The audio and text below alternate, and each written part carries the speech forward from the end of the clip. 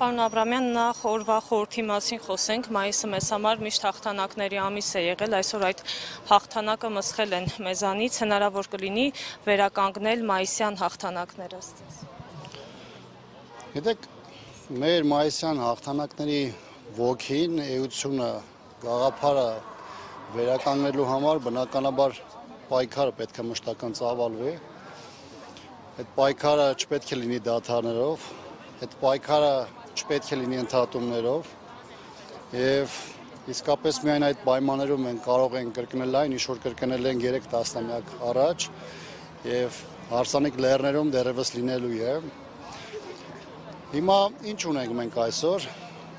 Այսօր մենք ունենք իրավիճակ, երբ որ Հայաստանում ձևավորված իշխանությունը, որը վերջին 5-6 տարին իշխանության է,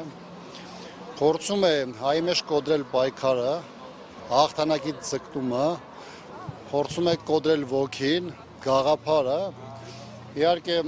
այս մեր երկրում տեղի ունեցող իրադարձություն ցույց են տալիս, որ դա որևէ ձևի իշխանությանը գոնե այդ մասով որևէ բան չի հաջողվում։ Այսօր մենք եկել ենք այստեղ նաև մեր հարգանքի տուրքը մատուցելու ոչ միայն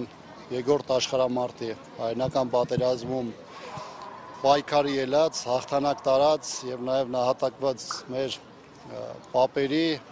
հիշատակին, այլ նաև այսօր նաև առիթ է հիշելու հանուն Հայաստանի, հանուն հայ ժողովրդի պայքարի տարբեր ճակատներում ընկած մեր բոլոր հայորդիների առումով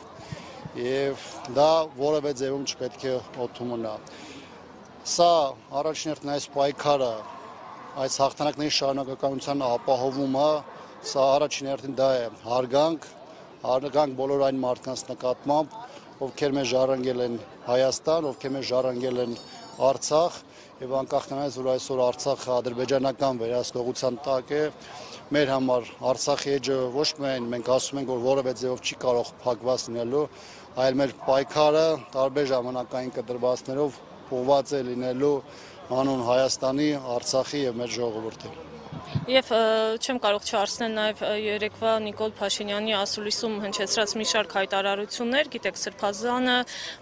պայքարն է առաջնորդում։ Նիկոլ Փաշինյանը այն որակում է որպես հոգևոր ձախողում եւ քաղաքական հայտ ներկայացնել եւ մի փոքր էլ Տավուշի վերաբերյալ ասում է, որ մենք ոչ թե Ադրբեջանին ենք տալիս 4 գյուղ, այլ, այլ Ադրբեջանից վերցնում ենք այդ 4 գյուղերը։ Ինչ մեկնաբանություն կարող եք տալ այս հայտարարություններին։ Նիկոլ Փաշինյանի հայտարարությունները ունեն շատ նեղ թիրախային խմբեր, որովհետև այսօր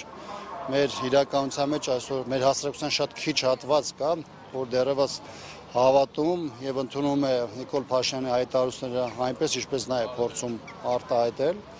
որովհետև սուտը կեղծիկ այնքան ամբողջական է դարձել մեր օրերում եւ դարձել այս իշխանության ամենաբնորոշ գիծը,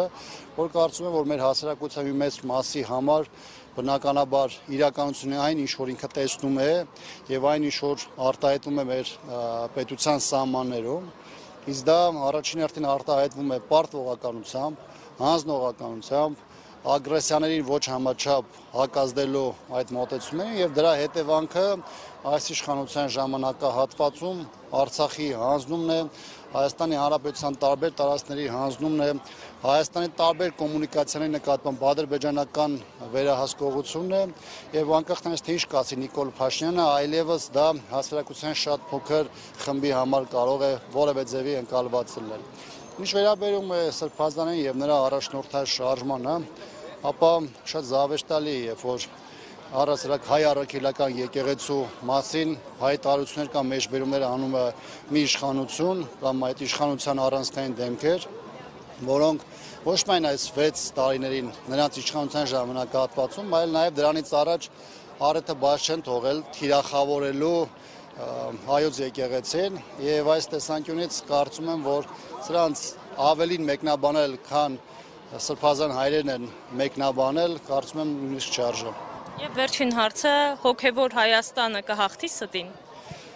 Անկախ ամեն ինչից թե իրադարձությունները ինչ եւ երբ կզարգանան, մեկ է գալու մի պա, երբ որ հոգևոր Հայաստանը հաղթելու է,